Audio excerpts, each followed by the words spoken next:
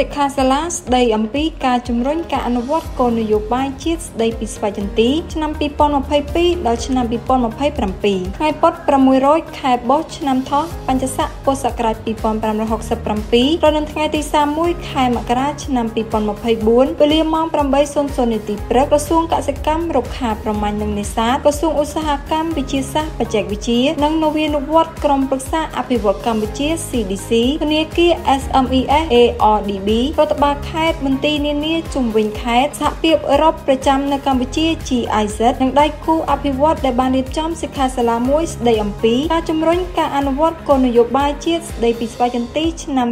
2022ដល់2027នៅសាលប្រជុំសន្តាគារបូរីអង្គរក្រុងសៀមរាបខេត្តសៀមរាបរដ្ឋមន្ត្រីបដិភាពអាយដាមរិទ្ធរារដ្ឋលេខាធិការក្រសួងពាណិជ្ជកម្មអាយដាមអ្នកនេរុនអភិបាលរងនៃគណៈអភិបាលខេត្តសៀមរាបលោកលោកស្រីប្រតិភូអមដំណើរនៃក្រសួងពាណិជ្ជកម្មប្រធានមន្ត្រីអង្គភាពនានាជុំវិញខេត្តតំណាងអង្គការ GIZ តំណាងសហភាពពាណិជ្ជកម្មមណ្ឌលខេត្តសៀមរាបឧត្តរមានជ័យតំណាងសហព័ន្ធសមាគមស្វ័យចន្ទីកម្ពុជានិងលោកលោកស្រីម្ចាស់ក្រុមហ៊ុនសិប្បកម្មកែច្នៃអាជីវករកសិករផលិតកម្មស្វ័យចន្ទីក្នុងខេត្តសៀមរាបបានអញ្ជើញចូលរួមសិក្ខាសាលានេះរៀបចំឡើងក្នុងគោលបំណងផ្សព្វផ្សាយឲ្យបានទូលាយដល់គ្រប់ស្ថាប័នអន្តរវិស័យនិងតួអង្គពាក់ព័ន្ធអំពីសក្តានុពលក៏ដូចជាការជំរុញនិងលើកកម្ពស់កេរ្តិ៍ឈ្មោះស្វ័យចន្ទីកម្ពុជាដែលល្បីល្បាញមានការទទួលស្គាល់ទាំងថ្នាក់តំបន់ថ្នាក់ជាតិនិងអន្តរជាតិឲ្យកាន់តែល្បីរន្ទឺបន្ថែមទៀតក្នុងនេះទៀតសោតសិក្ខាសាលានេះក៏ជាវេទិកាសម្រាប់ផ្សព្វផ្សាយការអនុវត្តគោលនយោបាយជាតិស្ដីពីស្វ័យចន្ទីក៏ដូចជាការចែករំលែកបទពិសោធន៍ក្នុងខ្សែច្រវាក់ផលិតកម្មទាំងការដាំដុះការកែច្នៃ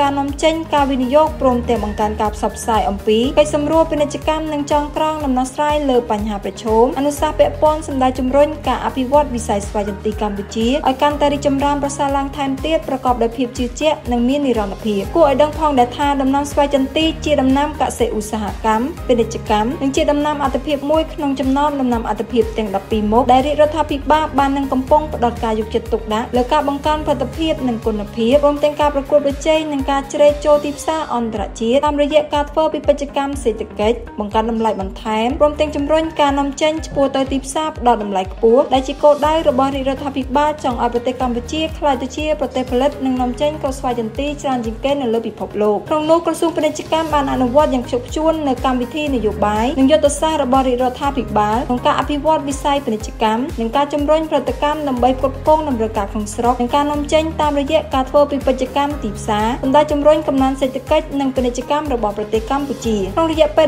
11ខែឆ្នាំ2023ទំហំពាណិជ្ជកម្មអន្តរជាតិសម្រេចបាន43,515.86លានដុល្លារអាមេរិកដែលក្នុងនោះដៃគូពាណិជ្ជកម្មដ៏ធំបំផុតរបស់ប្រទេសកម្ពុជាគឺប្រទេសហត្ថលេខីនៃកិច្ចព្រមព្រៀងភាពជាដៃគូសេដ្ឋកិច្ចគ្រប់ជ្រុងជ្រោយតំបន់ RCEP ដែលមានចំណែកប្រមាណ61.06%ភាគរយ